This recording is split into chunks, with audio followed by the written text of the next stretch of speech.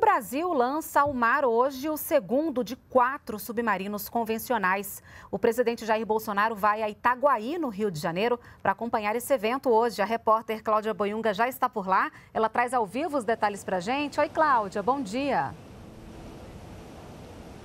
Bom dia, Renata. O presidente Jair Bolsonaro vai chegar aqui no Complexo Naval de Itaguaí pouco antes das 10 horas da manhã. Ele vai acompanhar esse lançamento do submarino o Maitá, o segundo a ficar pronto do Programa de Desenvolvimento de Submarinos da Marinha. No total, como você falou, são quatro submarinos convencionais e um de propulsão nuclear. Renata, ele também, o presidente também acompanha a integração de outro submarino, o toneleiro, que é quando é feita a união das seções do submarino em um casco único, finalizando assim a parte estrutural do submarino. Esse, esses submarinos, Renata, representam o maior investimento em defesa do Brasil hoje. Eu volto com você. Tá certo, Cláudia. Obrigada pelas suas informações. Lembrando que a TV Brasil vai transmitir ao vivo esse evento daqui a pouquinho.